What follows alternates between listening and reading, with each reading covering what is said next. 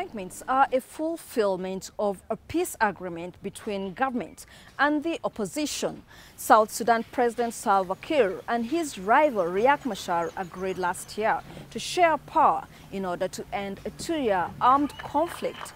But Machar was not present at the Thursday Juba Convention. He was represented by his chief negotiator, Taban Deng Gai. In December 2013, President Kiir fired his vice, Machar, together with many other leaders in his government, which later sparked conflict. Most of those dismissed have now been reappointed as part of reconciliation backed by the African Union. But the main position of first vice president awaits. President Kiir is expected to reappoint opposition head Riek Machar.